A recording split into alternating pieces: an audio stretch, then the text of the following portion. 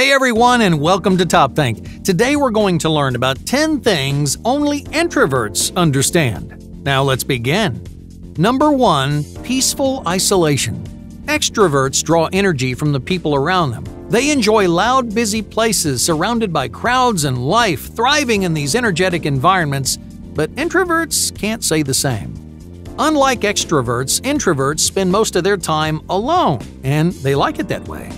If you're an introvert, you know that solitude is essential to your comfort, stability, and happiness. Because you feel like yourself when no one else is around. The things you love are solitary activities like artistic passions and quiet intellectual hobbies.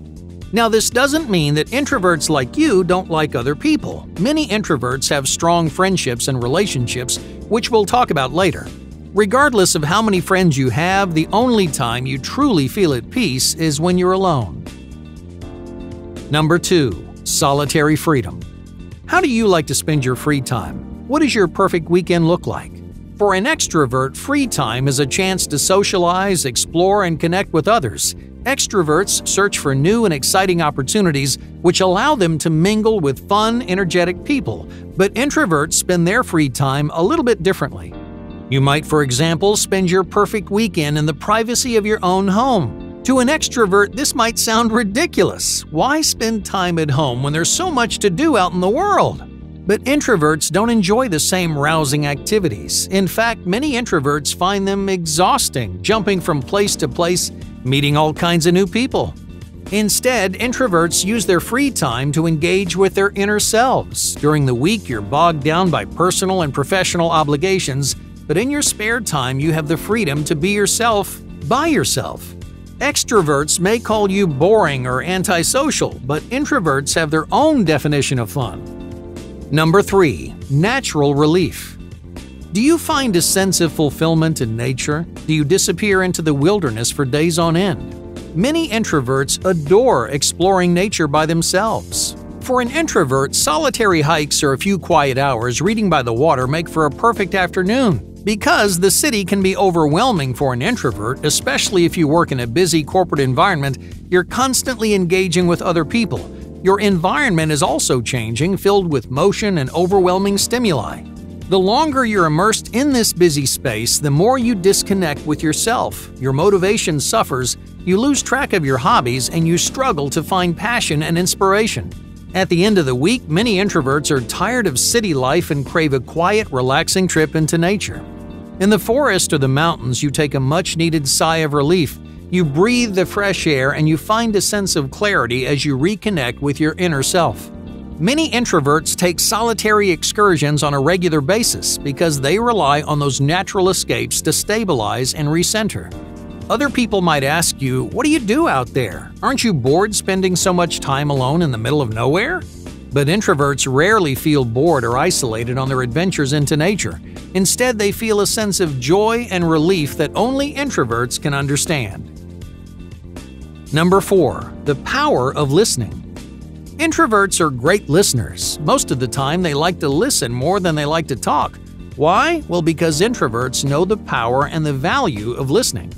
Unfortunately, many people don't feel heard in their daily lives. They have a hard time expressing themselves because they don't feel like anyone really cares. But introverts are active and careful listeners. They want you to pour your heart out so they can be the sounding board that you need. Because feeling heard can change your life.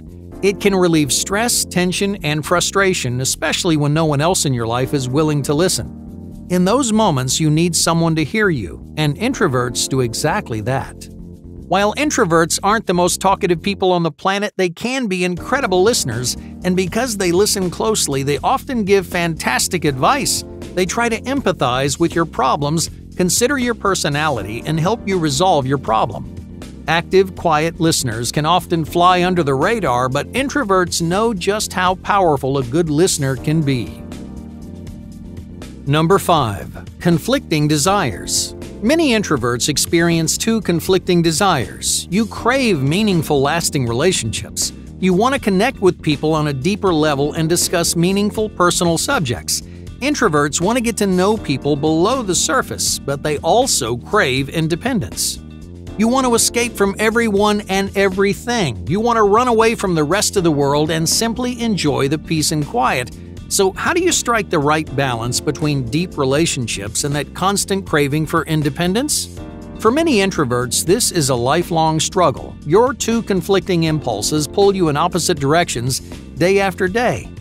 To an extrovert, this conflict might seem like an easy one to solve, but introverts are almost always torn in two separate directions. Do you want to connect with your loved ones, or do you want to escape from all of your commitments? If you're an introvert, you probably want both. Number 6. Happy to cancel. Do you get excited before a party or a big event, or do you secretly hope your plans will fall through? Many introverts find themselves wishing for rainy days and canceled plans. While other people get excited before an outing, you're crossing your fingers hoping it gets postponed. Why? Because parties and events are draining for introverts. While many introverts like to be social, there's a limit to how much socializing you can stand. When you've hit your limit, all you want to do is resign to the comfort of your own space. You don't want to talk to people, you don't want to worry what people think, you don't want to get dressed up or put on a show. If your plans get canceled, the weight of any social event falls off your shoulders, and for an introvert, that's a huge relief. Number 7. Dinner for one. Do you take yourself out to eat? There's a stigma attached to dining alone. Extroverts might think it's lonely or sad. If they see someone dining alone, they assume they don't have any friends to eat with them. But introverts know there's nothing wrong with eating by yourself. In fact, it can be more fun than eating with others. First of all, eating alone gives you a chance to enjoy your food. You develop a greater, finer appreciation for the food you're eating when you can focus solely on what's on the plate. When you're eating with others, your attention is divided between the food and conversation. Oftentimes, your meal fades into the background because you're too busy thinking about what to say. But if you dine alone, you don't have to work or think because conversation is not on the menu. Instead, you can carefully enjoy your food, or like many introverts, you can observe the environment around you. You can watch other people, appreciate the atmosphere, and get in touch with yourself. Extroverts might not understand the advantages of eating alone, but for an introvert, there's no better way to enjoy a meal. Number 8. Careful pacing. On average, extroverts are more spontaneous than introverts. They're more likely to take confident risks or throw themselves into the unknown. In general, they value their ability to think on their feet and they practice by chasing new experiences. But introverts are slower by nature. They're careful and deliberate, whether it's personal, professional, or anything in between. Introverts want to move at their own pace. This can be frustrating for an extrovert. They might get angry at how slowly you move. They might get impatient and push you into situations you're not ready for. To an extrovert, it feels like you're dragging your feet, but you're doing more heavy lifting than they realize. Instead of acting spontaneously, you're carefully thinking about your decisions, you're reflecting on your choices, and getting in touch with your deeper desires. Introverts need plenty of time to ask these hard questions before they can jump into something new, but that's something only introverts truly understand. Number 9 quietly confident. Have people ever called you shy or socially anxious? Many extroverts think introverted people like you are naturally shy. You're not as talkative as the average person, so others assume that you're afraid to speak. But not all introverts are shy. In fact, many of the most confident people are consistently introverted. You choose to keep your mouth shut. You're reserved not because you're afraid, but because you only speak when you have something to say. You may not seek out conversations with strangers, you may ignore small talk or rest in a quiet corner of the room. But you know a quiet person and a shy person are very different. Extroverts might not know the difference, but introverts do. Number 10. The silent majority.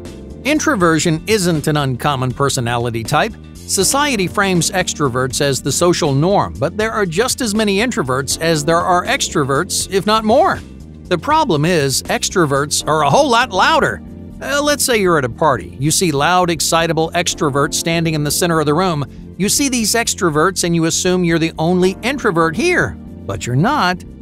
Introverts tend to fade into the background. Because they avoid the spotlight and keep to themselves, they become a silent majority, while extroverts dominate most social spaces.